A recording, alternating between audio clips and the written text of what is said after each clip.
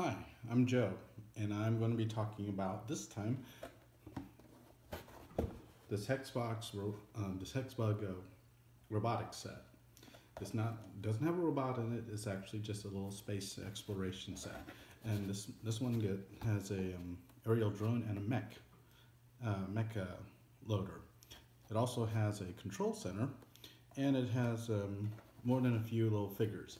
Now inside this box there's approximately, um, according to this, um, hmm, hmm, 225 pieces. And um, the, the models are actually kind of kind of cool. But let's take a look at what, what you get. What you get in the box is more than a few bags of these astronauts have two of these, and I actually built one. There's a total of three. So here's what uh, the little guy looks like. And what's interesting about him is that he has joints and um, they have a tendency not to stay on, as you can tell. But there, he also has a hole in his foot, so you can stick a stick a peg in and uh, secure him to to a base. Now with these, the instructions are one sheet with so, and for the most part, this is an easy thing.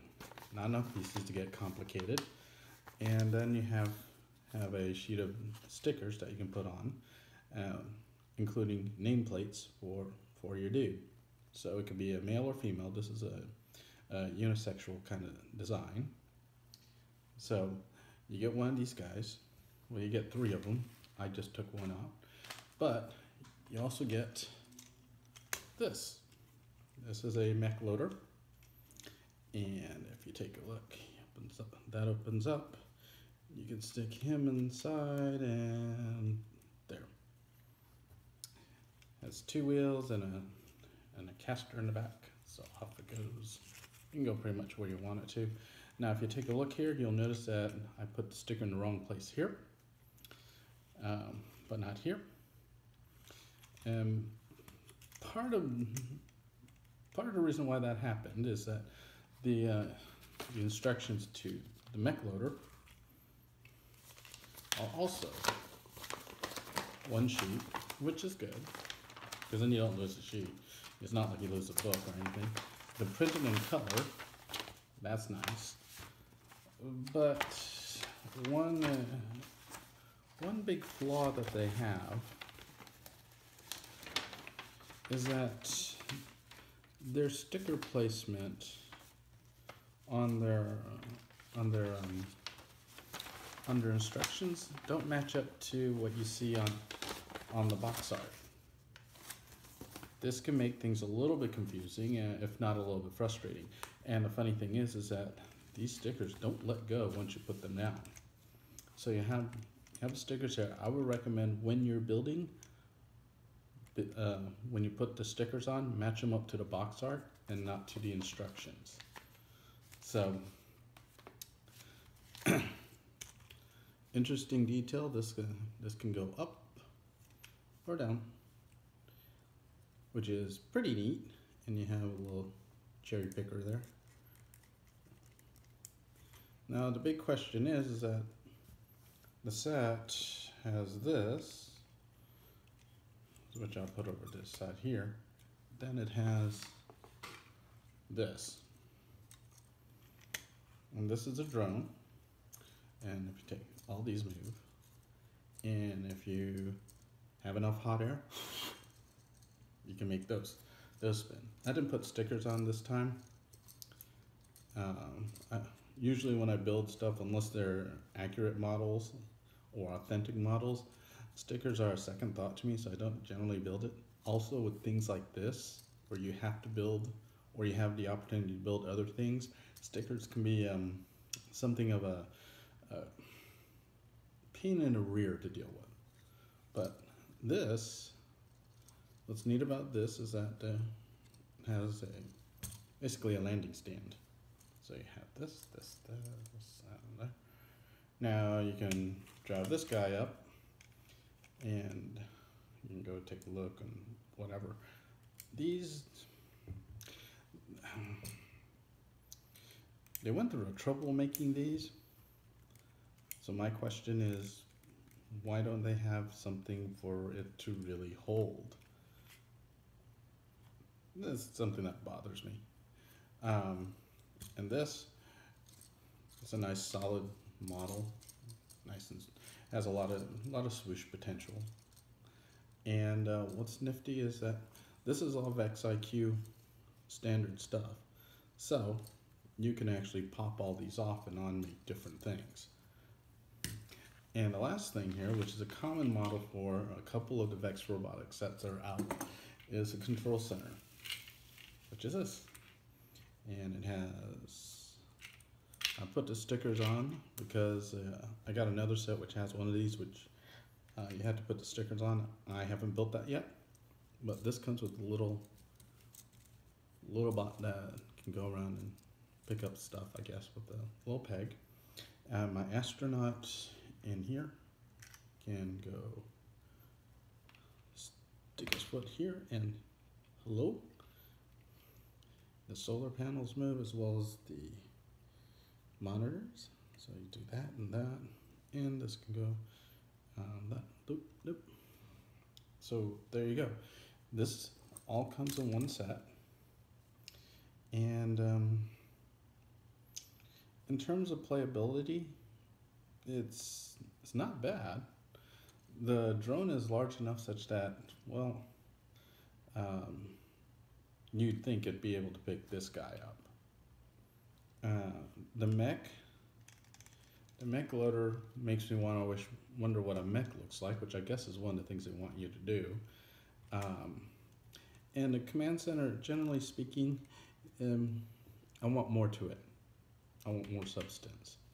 So this is like a platform, and if this is on Mars or whatnot, which is what they want you to put it on, uh, this is sort of like an outside outpost, and um, you just sort of you know do your exploration within a given tether or not. You can take the tether off and just go places. So this is what you can do with this set. Now, if you give me a few moments, let's see what I can come up with with the parts.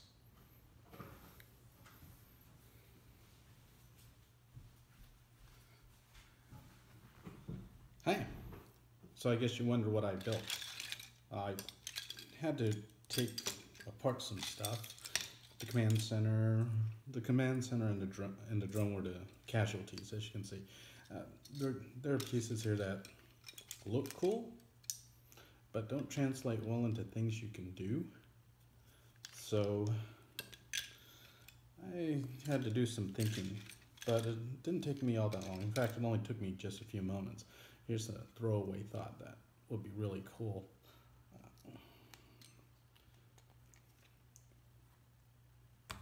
you have feet. Now, if you get these short enough, you can have like that. Turn them inwards, so that like that. And then you need to find the right piece. The hardest part in building is figuring out the right piece. So you would go like this.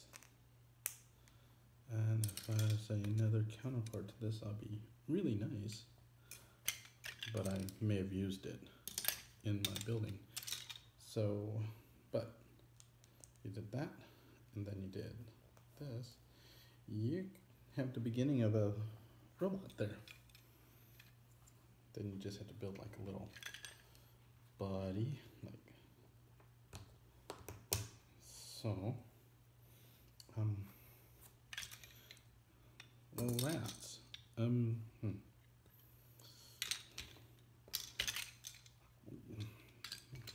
I got a little distracted here. Uh, I guess we'll just leave this one be for the moment because I want to show you what I already built. I'll put him over to right there. Hmm. No, after tearing down the drone, what was really cool is that you can use these props right here and reconfigure them slightly and you end up with this.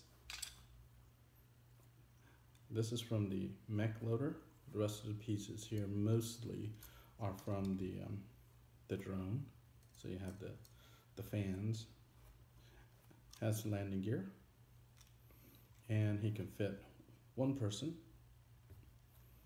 And what's cool is that he's kind of swooshable, so you can have him fly around. And uh, I just I just wanted to come up with something since the drone was so big, it made sense to make something with a figure in it. Now what's really cool is that since I cleared the command center, with a little bit of fiddling around, I came up with this. We now have a landing pad for him. So he can land right there, and then he can walk down off of here, meet up with his robot, and we actually have a reason for the mech thing working out so tall. Although this probably wouldn't be needed.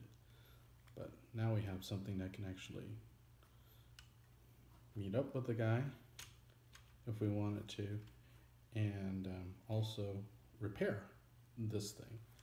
So, but this, like I said, is essentially, is very stripped down. There's like maybe 20, 30 pieces in this tops. This was just stripping down the um, command center and then taking down panels and pop, pointing them out. And um, I kind of like him, so I left him alone. And I really like this, but I couldn't resist but to put the top of this here. So this is what you can do with this set. And this is me just playing around with it over a few minutes. I didn't think about this over the past couple of weeks or anything. I just sort of looked down and was like, you can do this. And thankfully the part assortment is there such that you can do this. Uh, so we'll be trying this with other the other set that we got, but um, this isn't bad. I do, for some odd reason, really like the shape and design of this, but my thought is I really want something to go with it. So anyway, so I will see you later.